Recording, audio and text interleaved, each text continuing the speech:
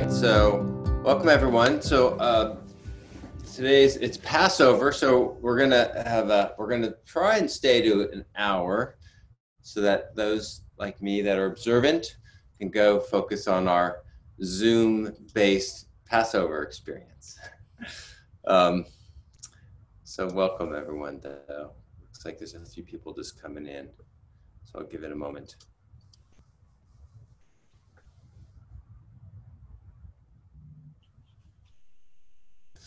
So, um, just for those that weren't here, so just let everyone know that, um, and let me just make sure we got everything covered. Yeah, great. All right, so we'll we'll stick to do we'll do our best to stick to an hour. Some of the slides towards the end are a lot about different supplements and things, and there's a lot of information in there that I think I'm actually gonna uh, uh, just blow through and just talk about the supplements overall and, and then that'll allow some time for Q&A, which I think will be great. Um, and my intention is to, you know, cover some of the stuff we've covered before, but move into some other areas as well. In particular, my plan today is to talk about statistics up front. Um, again, like we do every other time, just to get a fresh sort of view on that. And then to, we'll move in and, um, and then we'll talk more once we move into uh, sort of work through the statistics part, we'll really um, then go and move, talk a bit more about masks. I want to talk a little bit more about, about that conversation and help you guys understand that a little bit more detail. Um, and then also a little bit about clinical presentations um, and how people present. And then we'll talk about tests. Um, I want to talk a bit, a lot of people are asking about antibody testing. I thought we'd talk a bit about that. Um, and then the next section really is about some of the prevention strategies that, that we can think about doing um, that are more supplement based um, options and and, um, and and lifestyle. And then hopefully it can do that in 35 minutes or so, and then we'll leave some time for sort of questions and answers and things like that. So that's that's that's sort of the arc, uh, the journey of our of the webinar for this week. Um, and um, I'll just let you know. Let's see if I can um, share this with you. Some of you know this, but I I uh, let's see this. Give me a moment.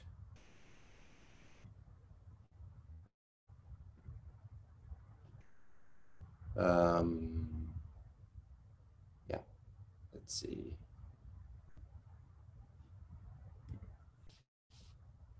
So if you can see that, okay. Um, so this is a new uh, 501c3 um, that we uh, we created as of actually last week, and I've mentioned this to some of you. I just want to let everyone know it exists. We're really excited about it. Um, it's a group of us, um, mostly tech folks in the Valley, um, but a mix of different people with finance and legal, and a couple docs like me, and a neurosurgeon named Jim Doty, who's down at Stanford, who runs the Center for Altruism and Compassion at Stanford. Um, have created this 501c nonprofit focused on procuring personal protective equipment. Um, so we're raising money um, we're finding people that want to donate supplies. We're finding people that want to contribute financially. And then we're um, vetting sort of that side of the, the, the equation and then identifying um, healthcare professionals, hospitals, and hospital systems that, uh, that need this. Um, and so you can see here, so, you know, opportunities for people to supply their products, request it, or donate. Um, so we have, um, this is our crew, uh, Megan Pye um, who may be on this call with us today, um, is our CEO, chair of the board, and we've got a rock star group here working with us. Um, and um, if you're inclined and you feel like passing the word, please do. Um, you can donate here, and it goes to a GoFundMe page. and you can see here we're for requesting and for supplying we're on uh, this website 1.3 acres which has over 120 million visits already and we're the new piece here around PPE. And you can see all the requests that have been made already. Um, so just wanted to share that with you. Put a lot of time into making this happen and now it's a reality. And we already have tens of thousands of um, N95 respirators coming our way as we speak. Um, so I'm going to now just um, see if I can shift over a little bit um, to our talk. So uh, I'm managing multiple screens, so bear with me and make sure this all works. And uh, great.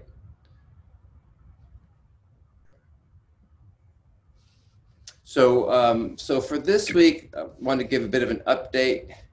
Um, really sort of focused on where we're at. So we've sort of jumped now. Um, and this is um, as of about what eight days ago, and now we've got 1.5, close to 1.5 million uh, confirmed cases, uh, with 87,000 deaths. U.S. is far above everyone else despite the fact that President Trump says we're doing a terrific job. Um, and if you look at the arc, you can see here, this was in the Financial Times, you, you can see the US just, this is, looks at deaths. Um, just, you can see everyone else starting to flatten, um, and you can see us still on a pretty vertical arc, unfortunately. Um, but you'll start, I'll show you some other data just to show you, give you a sense for um, the impact of social distancing. So we're all sort of in our in our sheltering in place, and this uh, was interesting from uh, 1918. Um, those that sheltered in place the longest turned out to economically actually do better and actually have lower mortality as well. So uh, this is so these examples are both the top one says between similar cities, places with longer running interventions had lower mortality. So that's interesting. Um, and then the second one, uh, by the way, San Francisco in 1918, we sheltered place, you know, or we had less social distancing than LA, for example. And then the second bottom part says those same cities also had higher employment gains. Pretty interesting. So that was 1918. Granted, it's a long time ago, and data was different back then.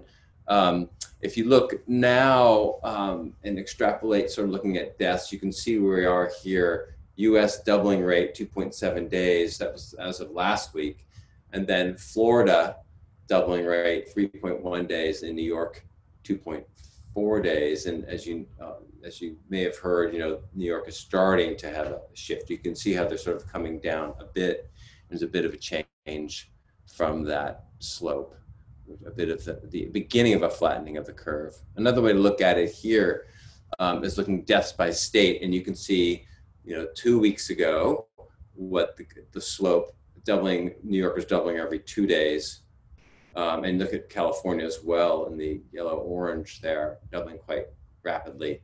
And now, if you move forward a couple of weeks, April 8th on the right hand side, you can see New York now is shifting to doubling every three days, and then you can see how that slope is changing a lot. Um, and uh, you can see Washington, California. So pretty interesting. A lot's happened in the past two weeks um, since uh, 90, I think it's 97%, I think, um, of the um, states are in, doing sheltering in place. Um, locally in San Francisco, um, this is what the caseload looks like with, with 10 deaths um, you can see here that that you don't you see a bit of a shift in the slope, but not huge. Um, but there is a bit of a shift. You can see how it was exponentially growing, and now it's starting to shift, which is great to hear. Uh, half the cases are under. Um, you can see there half the cases are under 40, um, which is almost half the cases, which is a bit concerning. Which is why people are coming down pretty hard on people under 40 to really try and do their best. Um, and you can see the predominance here of um, transmissions through the community, uh, not through a known case. Um, you may have heard that uh, about um, ethnicity and how that's playing a role in how people are being um, affected by this disease um, with a, higher proportion of particularly African Americans, as I understand it. I haven't seen all the data yet um, being affected uh, and infected, and also a higher proportion of um, greater severity and greater deaths, almost three to four fold, depending on which city you're looking at. Quite concerning. Currently, they're thinking, you know, there's they are there's a higher there's clearly health disparities across socioeconomic class and including race uh, as part of that socioeconomic class. Uh, so there's some you know, correlating across those two. uh, and clearly that plays a role in health disparities. And we know that diabetes, high blood pressure, and other health conditions like that play a role in the severity of your illness. So they're trying to tease that all out. But unfortunately, that is the newest information coming out. These are just hospitalizations, and you can see um, the doubling rates are decreasing a bit over time, which is uh, which is nice to see as that slope changes. This is UCSF UCSF Medical Center itself, uh, and the, really the current uh, census. Um, and you can see week over week there is an increase, but the, it's about 10 to 15 percent. So a doubling rate more like seven days, um, which is great to see. So um, so I wanted to spend a moment uh, talking about um, transmissibility. And I showed this slide last time, and hand washing clearly is important in doing it right and teaching kids to do it right, meaning that we should be getting you know, our fingernails, we should get between our fingers and really soak things up, and that the soap itself um, will actually decompose the, the virus itself, the cell wall, and kill it. And that's what we want to be doing. Um, so this conversation about masks. So this is a picture from 1918 from 1918 pandemic. Wear a mask or go to jail. So this was done over 100 years ago. And at the same time, we have the Surgeon General at the end of February saying, seriously, people stop buying masks are not effective in preventing the general public from catching coronavirus. True, if healthcare providers can't get them to care for six patients, it does put them at risk. But his first statement, they are not effective in preventing general public from coronavirus. This is from our US Surgeon General. So what's the actual statistics? Because I believe in science and hopefully our Surgeon General one day will too. Um, if you look at this, you'll see that wearing a mask has a 68% effectiveness rate. If you go down to the fourth, the third row, wearing a mask, five studies, the odds ratio is 0.3%, 0.32 actually, which means you get a 68% benefit reduction in getting a virus if you wear a mask.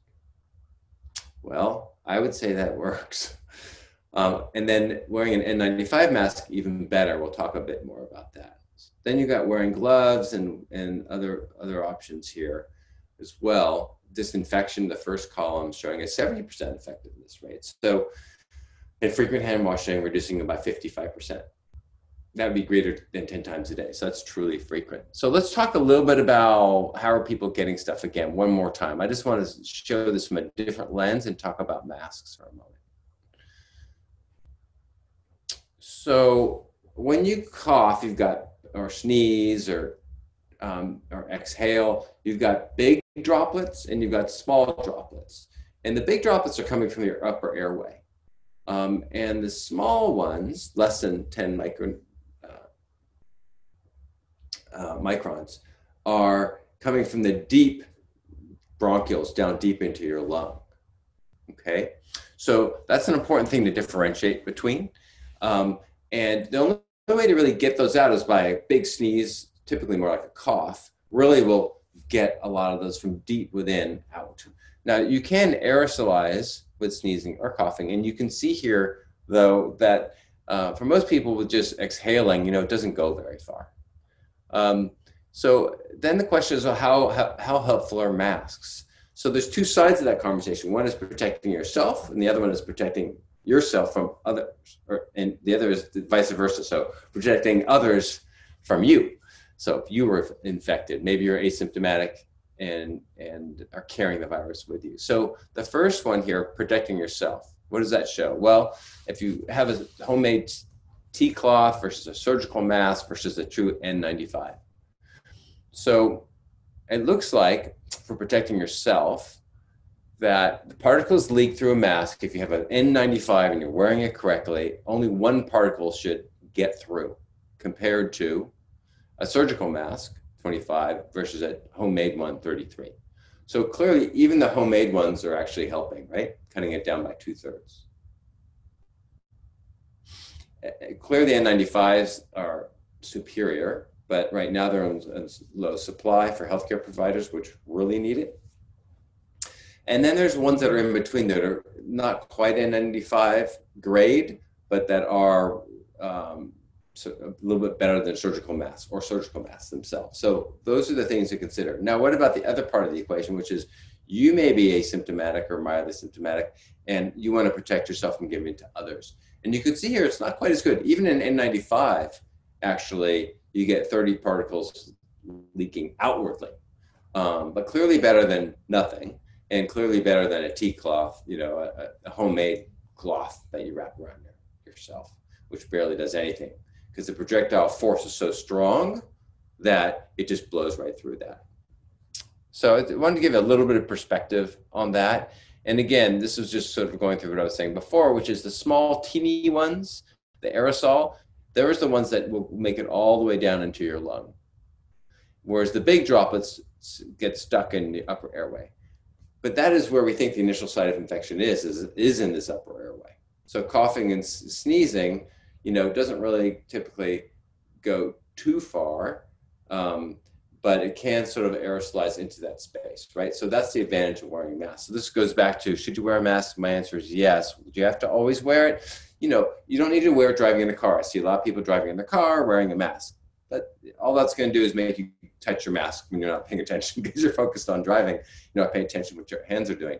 You really need it when you're in close proximity or in small quarters. So if you go into an elevator, if you're shopping in a grocery store, um, if you're in a crowded space, then you want to wear one. If you're outside, then again, you're in open space, and as long as you're apart from other people, then you don't necessarily need to, to wear one. Um, okay, so and then the other thing I want to talk a little bit about is this is from a slide from last week. It's just talking about how people are presenting. And there's a lot of confusion, and rightfully so, because the CDC and many other national bodies have really made this confusing um, because partly they would only test people who were the most severe. So if you remember, it was cough, shortness of breath, fever. Um, and now they're broadening it a little bit more. But the truth is, people are presenting in all sorts of ways. So some people are having change in their bowels, some people are having change in their taste buds and, and smell. Other people are having headache and sore throat and fatigue. Uh, then a cough comes. The predominant one is a cough because it really hits the respiratory system. So just keep that in mind. If you don't have a cough, um, the odds are much lower that you actually are having something happening, but still possible, but a lot lower. Uh, the other thing I want to bring to mind, and I don't know if anyone's seen Chris Como's Cuomo's discussion where he talks about his experience. But um, I was quite taken by it. Um, and then I saw another interview he did with a doctor that showed his chest x ray, and it was pretty clear he actually never did have pneumonia, if I understood that correctly. But he was acting as if he did have pneumonia. Um, and he was saying how you have to keep moving and you have to resist the virus. The virus wants to take you down and wants to make you lie there and don't succumb to it. And you have to get up and do stuff. Let me let me reframe that in a different way and say that the way the, the lungs work is at first they're super light um, and almost like a balloon and almost like they can float. They're really light and they have these small little airways and it's very light and fluffy. As if you get a pneumonia, which means infection down into the lung itself, not the upper airway, but the lower airway in the lungs then that starts to change because you have virus down there and your body starts fighting the virus. But again, some people just have a headache, they'll have a sore throat, they have a cough, they've got maybe a running nose, they have fatigue. That's not necessarily pneumonia. It's when you really start to have these other symptoms where you start to have difficulty with your breathing.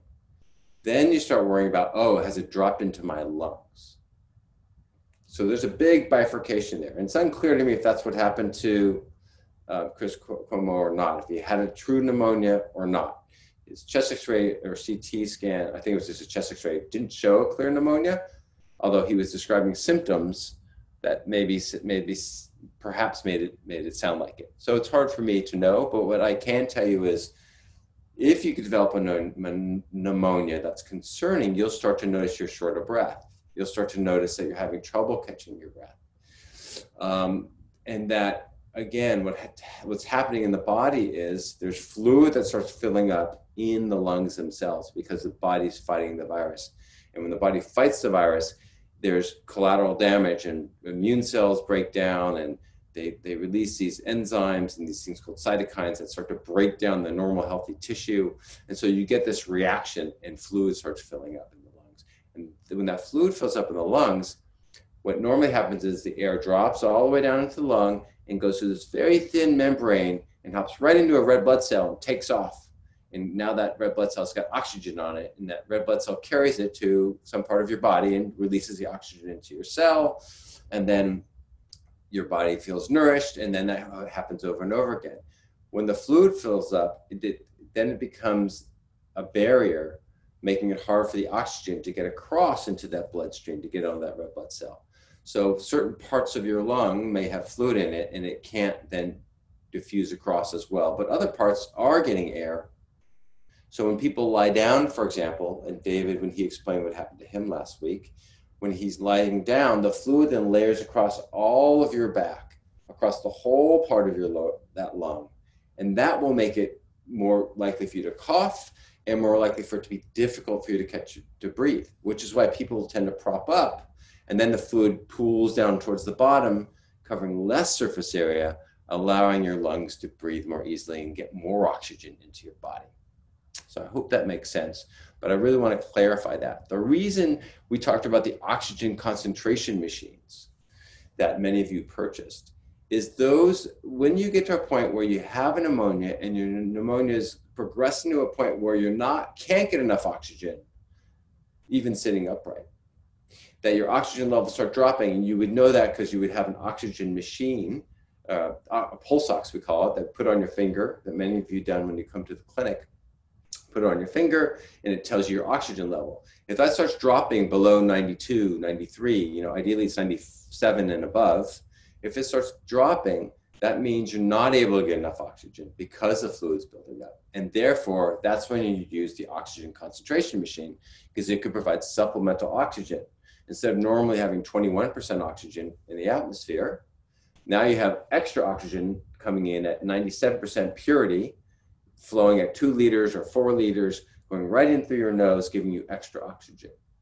And then if that starts progressing and that's not enough, then we have the face mask and we can go even five liters, 10 liters, and get this pure 100% oxygen into the body, which really supplements you to increase your oxygen levels. And you would be checking your oxygen pulse, pulse oximetry to see if your oxygen levels are improving Of course, you'd be working closely with your doctor. Um, and so we'd be tight doing this hand in hand. It would be a close conversation. But I wanted to give some clarity around how people are presenting, this conversation about pneumonia. Many people have pneumonia, don't need any oxygen supplementation. They ride through it and do fine. Some people progress and do, and then need to be hospitalized for the oxygen supplementation primarily. Okay, so I'm going to spend a moment talking about testing. So there's two big categories. There's do I have acute infection? Is the virus in my body? Do I have this thing called COVID-19? And then the second one is, did I have this thing called COVID-19 and now I have antibodies to it? And so now I'm, we think, hopefully immune. We still don't know the answer to that, but we're hoping that these IgM and IgG in particular antibodies suggest that we actually are immune to it and go, can go back in and not get it again. So as you know, there's testing centers all over popping up or that are currently here. UCSF, their throughput is now, they're able to do a thousand a day. They're only having to run, I forget the stats now, I have them from before, a few hundred internally a day, two or 300. So they're pulling from Marin General, they're pulling from other places that are that are doing the swabs and they're all going to UCSF to be processed because they have a, a huge volume that they can do. Um, Stanford also has good capacity. So those are the main centers that are doing the, the processing. Um, and quickly, other companies are coming into the private sector and starting to create labs. But thanks to Stanford and UCSF, it really got up and running quickly. That's the PCR testing. And we talked about the machines that do that. And uh, then there's the serology testing, which is these antibodies, which help us look at whether or not you have now antibodies to this. Um, and there's a national rollout happening as we speak over the next couple weeks. Uh, we will see this roll out. And um, what's exciting about that is we'll be able to see, oh, it was COVID 19 that I had. Now, the question is, how good are these tests? And many of these tests are easy. It's a finger stick, you know, and you get a little bit of blood, you put it onto the this little cartridge, and it with you add a little reagent to it. The doctor has to do this, and then it gives you your result pretty quickly. Um, the question is, how accurate is that result? And we don't know the answers to that. And that's part of the. So I'm going to spend a few minutes talking about teaching you a little bit about tests, diagnostic tests. What do they mean? How do they work? What are some of the challenges about them? So diagnostic tests. Um, and it was a nice article in Stat News. Um, so I'm pulling some information from that um, and from uh, some other places. So when you think about test characteristics of a test, so the truth is you either have a disease or you don't. That's the truth, right? So if you think about if God knew you do have this disease or you don't, that's the sort of reality we're trying to work in. And then the question is, how does the test correlate with the truth? That VE means a positive test in this case or a negative test. So a negative sign or a positive sign. So in the first column, if you have a positive test, right, and you have the disease. So and then there's something called sensitivity, which means the ability of this test to correctly identify those people that have the disease. And that is basically you take everyone with the disease, and then you figure out how many got a positive test and how many got a falsely negative test. FN means falsely negative, and TP means truly positive. So 100 people with the disease, 90 of you guys got it actually saying it's positive, 10 of you said it was negative, but we knew you had the disease. The sensitivity then is out of 100 people, 90 were positive, 90%. Now, what about this? And that's important if you're screening um, um, something that's really worrisome, let's say HIV. You want to make sure you grab everyone that has HIV because that's a potentially lethal condition. Should, there's good treatment for it. You want to find everyone. You want a really highly sensitive test. You don't want to miss somebody that actually has it and they're falsely negative specificity is sort of the other part of that conversation, which is the ability of the test to correctly identify who doesn't have the disease, okay, who does not have the disease. So in that case, you're looking at true negatives is what you want to figure out. So if 100 people take the, test, none of them we know. We know none of these people have the disease, and 100 take it, and 90 say come back negative, but 10 show that they're they're actually positive, but they really don't have the disease, then we have a problem where 10 people think they have a disease. Now, for example, with HIV, you don't want to be falsely positive. That would be a bad thing. So that's why for HIV, for example, they have an ELISA test and then they have a Western blot. The ELISA test is highly sensitive and not as specific as it could be. And the Western blot is highly specific but not as sensitive as it could be. So it's done in that order. Oh, you may have HIV, ELISA test. We're going to confirm this with a second test to make sure indeed it wasn't a false positive. Now, when people come up to me and they say, Hey, Brad, I did this test and it was positive, does that mean I had COVID 19? That's a different question. And that's the just looking across the table here are the PPV and the NPV, which is the positive predictive value of a test and the negative predictive value of a test. And this is really sort of relevant to us in our clinical sort of thinking like, do I have this or not? I got a test. Should I get a test or not? And this positive, these are predictive values, okay? Now, the thing about these is it depends what the underlying prevalence is in the population that you're testing. So, for example, um, in the San Francisco Bay Area, it's probably pretty low. So there's a good chance that we might be making mistakes. And I'll tell you about this. So there's something called the positive predictive test. Again, it's a proportion of people with a positive test result that are really positive. Okay. And then same with the negative as well. So if you go back to this thing, so it's the true positives amongst those that got a positive test, the true positives plus the false positives. And similarly with the negatives.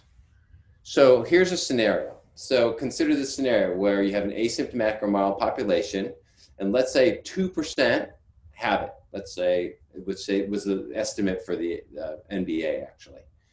And uh, now assume the test is, is always positive individuals with the disease, but falsely positive in 10%, 10% of the time, which would be a pretty good test.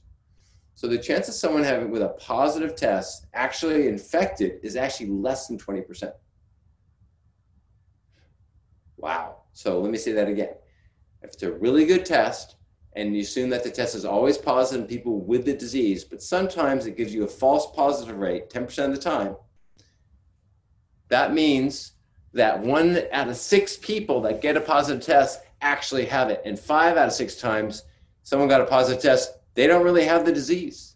So when people are asking me now, and I'm asking myself now, should I go get tested? Because I think I may have had COVID 19. Should I go get tested for the antibody test? There's a whole bunch of companies out there are flooding, they're about to flood the market. There's one right now, a company in Richmond. They're charging $120 for their test. The test probably costs them anywhere from one to three dollars, just so you know. They got it out of China. They, what's the likelihood? How reliable is that test? We don't know. They I asked them to send me some data on it to see how, and their data sets on very small number of people. So these tests really need to be vetted before we can say clearly that uh, you guys, we should all get tested and we should then trust the results of that test. That's my big concern. So uh, we'll get data pretty quickly, um, but we don't have it now. So um, my, my, sort of feedback is that we need to wait and, and see. Um, Mary, do you have any tests, any any thoughts on on this since you spend much of your career building out laboratory diagnostic tests across the world? Yeah, I'm a big proponent for confirmatory testing. That's just the, the nature of the business. And uh, the only other thing I would add regarding specificity is that there are different strains of virus out there. I'm not speaking specifically about COVID. COVID is, there's COVID, there's SARS CoV 2, there's SARS CoV, and then there's MERS CoV. And so um, sometimes we get false positives with these tests because they're binding to different strains of virus within a larger family of viruses.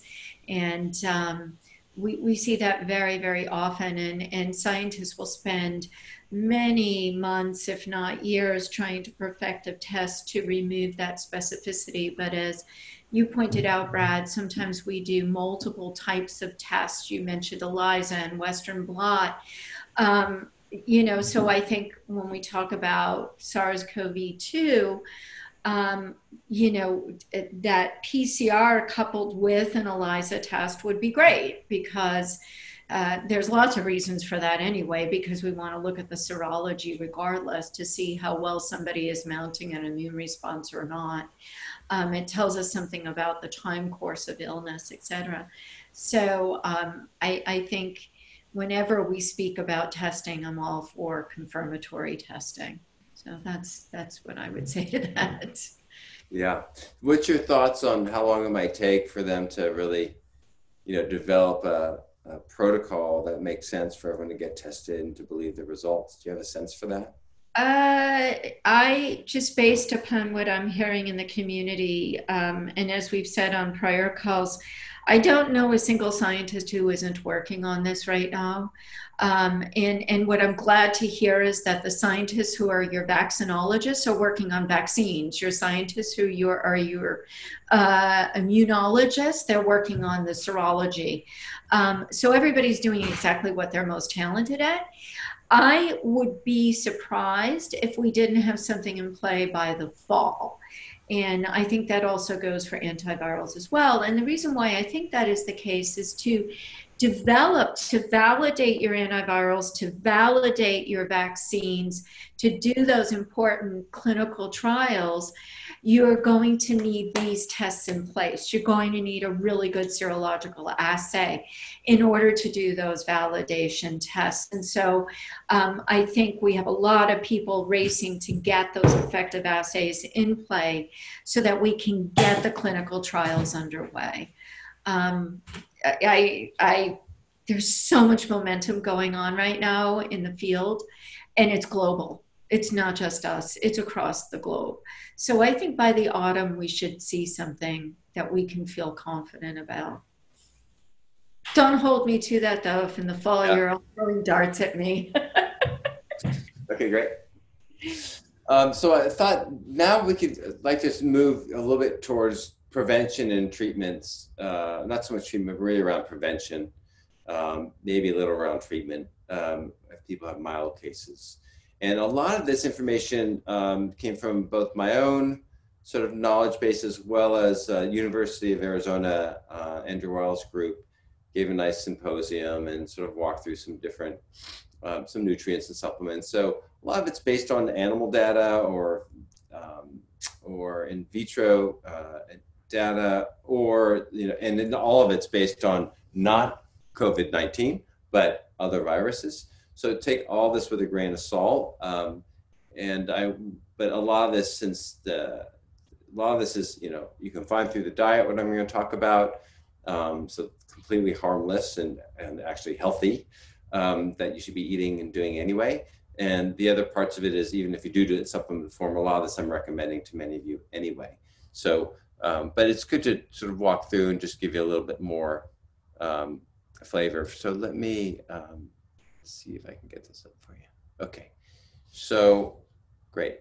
So, um, so there's a couple different parts of it, you know, how this may work, and I don't want to get into too much the pathophysiology of how these work, unless you guys really want me to. I'm happy to, but um, let me just break it down sort of three big categories, which is one is how do we stop from the virus from sort of getting into and into our body? Let's say it lands in our mouth and you know, or into our nose, and then it starts comes into our body.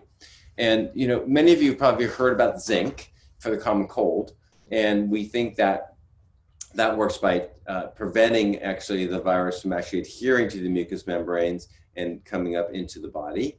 Um, and also, we think it reduces viral replication. So, zinc is one that you've heard of before, and I would just like the zinc lozenges that are sold for the common cold. Similarly, if I were exposed or thought I may have been exposed, I would go ahead and use that um, uh, to sort of reduce my concerns over a couple days if in case I may have been exposed. Um, and and then if I were to be you know initially ill again, I would use it in the first phase of, of my illness as well. Um, the other things that have been looked at are vitamin D. There's some different studies that they found if lower vitamin D levels uh, are concerning for more severe disease. It's yet to be worked out, but again, I recommend people um, be in this, you know, above 30 and below 50 ideally. That there is some data showing above 50 people have um, has some immune modulation effects that could be negative. Um, so I'm a believer in people being, you know, um, some people just through good um, genetics and digestion actually have adequate vitamin D levels with the normal outdoor activities, and some people don't. So in those cases, I, I'd supplement. And then quercetin, which comes from onions in particular, um, it can also be helpful. If you've ever used, it's also used for allergies. A lot of people we use it with people that have allergies as well. Um, and this is thought to bind to this ACE2 receptor, which is we think the vehicle through which this virus gets in um, to the body and through the respiratory chain. Um, and so that can be helpful too. And there's something called astragalus. Astragalus has been used for a long time as a traditional herb. It's a great tonic. It's great. It's used in a lot of common cold herbal remedies as well. A lot of the ones that I would recommend have astragalus in it. Um, and that's also shown to be helpful. So if I were exposed, you, you, know, I would I would make sure I was doing vitamin D. I'd probably take the zinc, and I'd probably take a herbal formula um, that has uh, astragalus or quercetin in it. Um, and um, yeah, so that's uh, one part of the equation. The other is this uh, and um, nuclear factor kappa beta NFKB and something else called NLRP3, uh, which is thought to cause some of this inflammation that happens where our body overreacts to something and that creates this cytokine storm that's been called uh, what has now been called for people that are quite sick and the reason they're, they get, they're getting sick and then the body overreacts and causes more flooding in the lungs and starts causing other problems to the body which makes people even sicker, and that is because our own body is fighting against itself in essence. So, how do we sort of modulate that? Right now, I, like I showed last week, UCSF is part of a study that's I think it's called the ASTER study that's looking at vitamin C as part of a larger of one uh, regimen of multiple drugs, vitamin C being included in one arm. Um, that's using a second drug as well. So vitamin C, the dosing is a little unclear what they're going to use uh, in my mind, what their doses are, but typically, in, at least for the common cold, the dose has been three grams. For some people, they get some GI side effects from that. They can get, you know, a little bit of GI distress, a little bit of loose stools. Um, so I tell people to divide it up, do a gram a couple times a day. Um, some people do much higher doses, 10, 20 grams. Um, and it's being looked at, I think, in that study uh, using intravenous dosing at 20 grams, if my recollection is correct. Um, melatonin, interesting, has also been looked at, and a lot of people use it for sleep. Um, the recommended dosing uh, is one to five milligrams for sort of sleep use, and it's been shown to have beneficial effects on the lung. Um, it also helps people with reflux. I've talked about that with many of you, where it actually reduces reflux it affects the gastro, uh, the, the gastroesophageal sphincter, um, but also can be helpful in this setting as well. So, and then the other components here, again, quercetin comes up again. This is sort of reduced at NL, the NLRP3 inflammasome. Um, so plant flavonoids, how do you get those? Eating lots of uh, vegetables. Um, so ideally, the more vegetables, the better. Uh, quercetin, again, we talked about already. Garlic, primarily, you can do garlic pills, but often if you put it into your diet, it can be quite helpful. There's this sort of um, huge cytochrome storm that we've been talking about, the cytokine storm, um, with the side from the cytokines. So IL six is an example, TNF alpha. These things by calming them down, uh, and there's actually drugs being looked at right now to that affect interleukin six as well, for example. So this is how important these some of these target cytokines are. And then EGCG, which you can get from green tea, which you can see is what's in my thermos right now. Um, I've been drinking lots of green tea. Um, I do that in general, but it's quite helpful. Has can- anti-cancer properties as well as again here for for viruses. Um, the other, as you guys know, I'm a big fan of curcumin and a big fan of mushrooms, the medicinal mushrooms, and um, this has been shown to have really uh, profound effects on immunity and thought to have anti-inflammatory effects as well. So affecting that whole cytokine storm conversation we talked about earlier. Um, you can bring them into your diet. And then, of course, uh, I use a lot of, in particular, Host Defense uh, product made by Paul Stamets. Um, and they have a Stamets 7, which I like a lot. Um, and they have other ones as well, but the Stamets 7 is a nice one that has many of these herbs that I have listed, many of these mushrooms that I've listed here. I do that regularly um, on a daily basis as my tonic. And if I get ill, I, I double or triple the dose. Um, and now we have a powder version of it that we offer, and you can find online as well, I'm sure, um, which actually is much more accessible. It's a bit stronger and it's actually less expensive because it's just in a bucket with powder. Um, then there's curcumin. Everyone, people are quite familiar with curcumin. It comes from turmeric, which is a root, as a spice um, coming from India, and the dosing is pretty broad. Um, it's really well tolerated at higher doses, um, very little side effects and drug interactions, other than some interactions around, um, theoretically, around blood thinning, but um, really good for the liver as well. So uh, I'd recommend as a daily, I recommend a lot of people take one to two five milligram, 500 milligram pills.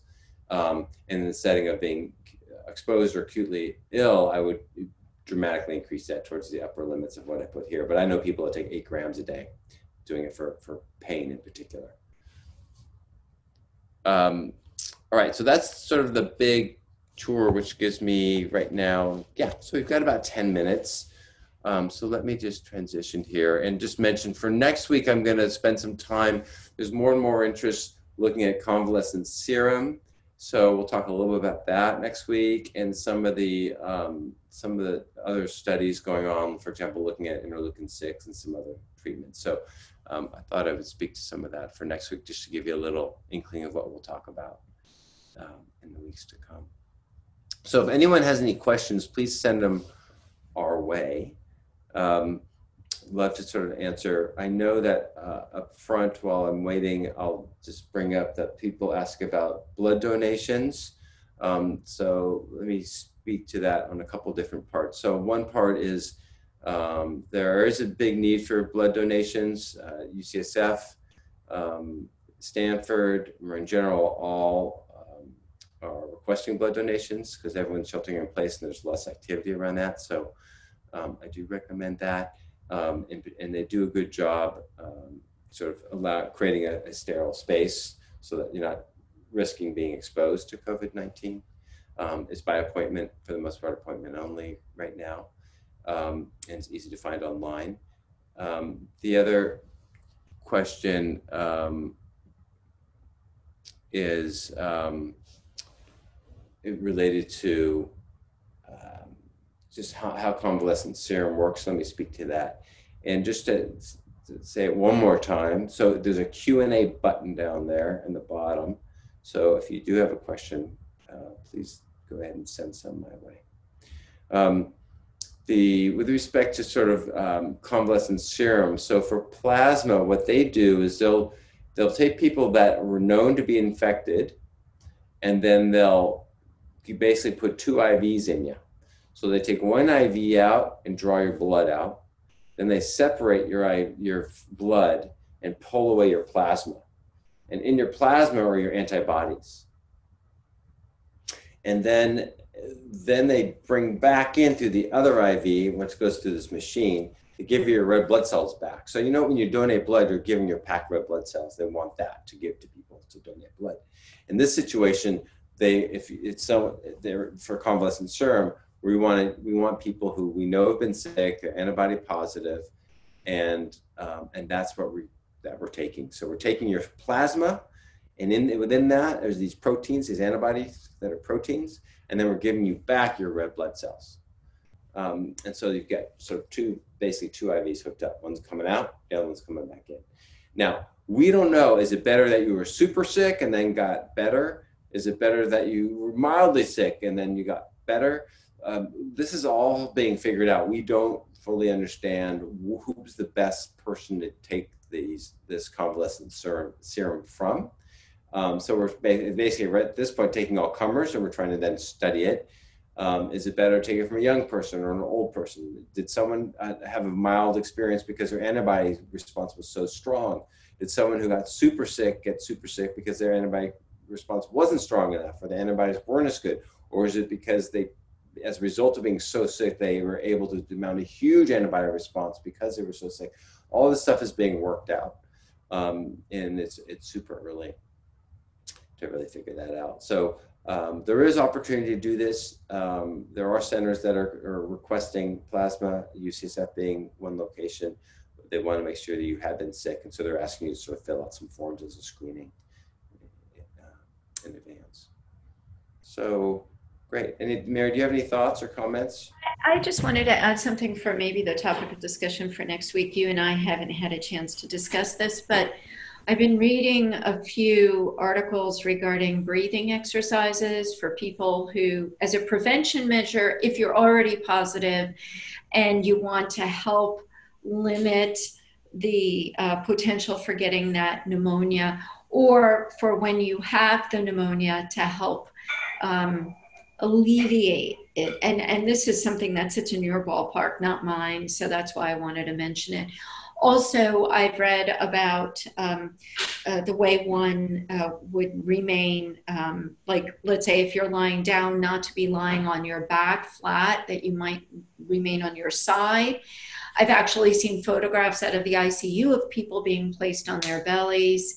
Um, so that's just something i was curious about myself yeah, great. Thanks for that. Yeah. so you guys, I don't know if you've seen it, but I've, I've been sent from from my patients uh, videos of people doing all sorts of things. So you know they'll show they'll sort of come up and show the hold for five seconds,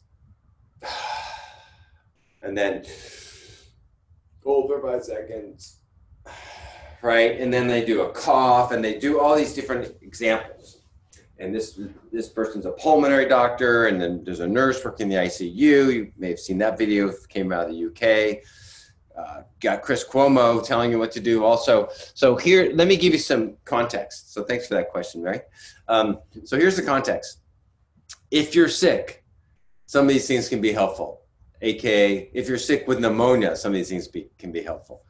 If you're healthy, there's no reason to do these exercises. Exercise on a regular basis. That will completely manage your lungs in all the ways that it needs to be. It'll flush it out, it'll flush your system out, it'll energize your immune system. Get great sleep. Why It reboot your immune system stronger than pretty much anything you could think of doing if you get good sleep, get sufficient sleep.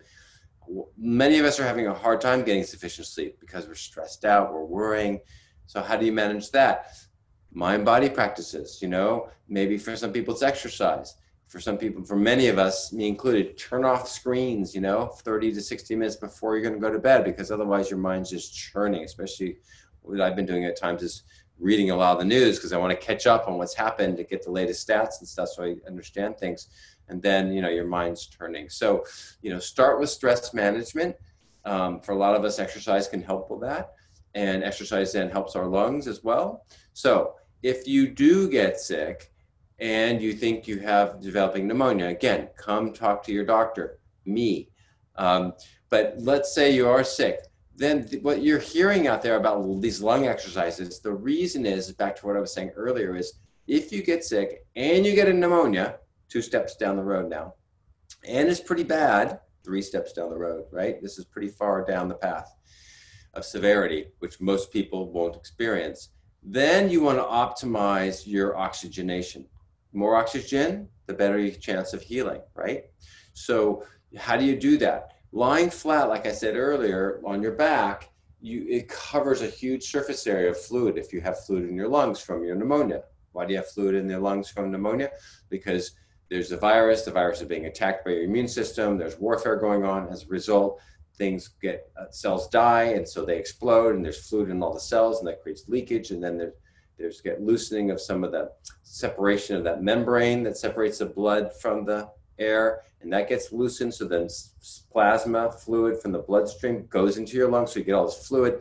So if you're lying on your back, it's going to pool, and then it covers all the alveoli, which are the little little sort of uh, pockets that, or the spot where the air comes in. It's super thin layer moves across and goes in your bloodstream. If that's covered with fluid, then you can't get across. So people are sitting upright more. Like David, who was telling us last week, had to prop up a lot at night to sleep. And because he'd be coughing. Why? Because the body doesn't knows that covering all that lung surface area is bad. And so makes you cough to try and get rid of it. So in those situations, then you want to do things. Uh, and the one guy in that video talked about atelectasis. What is atelectasis? It means a collapsed lung. So the bottoms of our lungs will get collapsed if we're not moving our diaphragm a lot, or if you're lying and not moving much in bed. These parts of our lungs start collapsing down. So we have less lung now that's able to oxygenate. So if you hold your breath,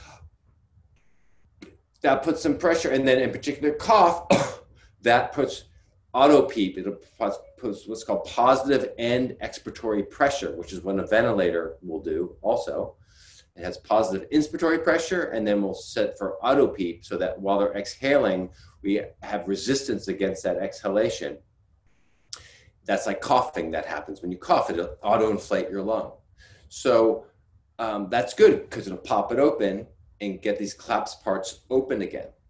Um, you don't need to do that if you're healthy. That's only if you're sick and have pneumonia that you need to be, start thinking about these things. Um, and so I gave some people an example. When we do our breathing practice and meditation, and there's that long exhalation that we do, where and it's as if you're blowing through a reed instrument, then you get back pressure. That auto inflates your lungs. So it's built into many meditation practices already to help augment our own respiratory system. And what I meant to mention last time, which I'll mention now, is the reason we tend to exhale longer, we ask you to exhale longer on exhalation than the inhalation, is that exhalation, when done actively, in, is requires your diaphragm to engage. And the way to engage your diaphragm is through a nerve called the vagus nerve, because that innervates your diaphragm. The vagus nerve is part of the parasympathetic nervous system, the calming part of our nervous system. So when you sigh or when you do meditation, you're these long exhalations, you're activating your parasympathetic system. You're activating the calming part of our nervous system. And that's what we need to sort of settle back in, right? So the reason they built in these meditations, and by the way, prayer, the rosemary prayer included, they studied this, that it invokes the same thing. And it activates your parasympathetic system. It activates shifts in your brain, oh, in your brain waves, so the deeper brain waves get activated um, that are, are associated with deeper meditative practices. And so all this is built into these millennia of these sort of, you know, contemplative practices that we take for granted. Um, so that's a bit of a long-winded expl- explanation. Um, so someone was asking about Wim Hof and his method.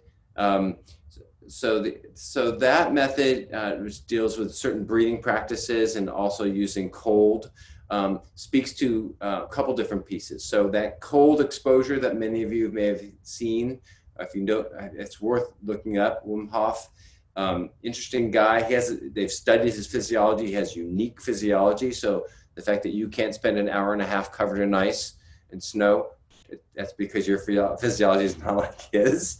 Um, but what that does, that is what we call hormesis, which will activate our system and activate our immune response and create neuroplasticity and create uh, basically an adaptive response that ultimately makes us younger for our given age. So it ultimately changes our, our biology and reduces our biological age, even though our chronological, chronological age hasn't changed. So I'm a big fan of those sorts of practices.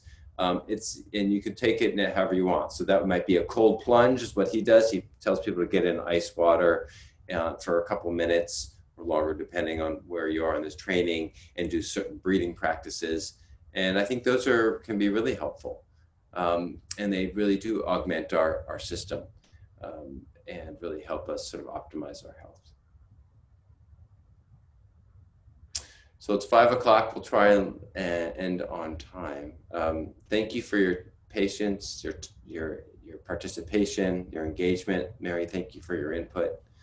And uh, we'll, yeah, we'll do this again next next week.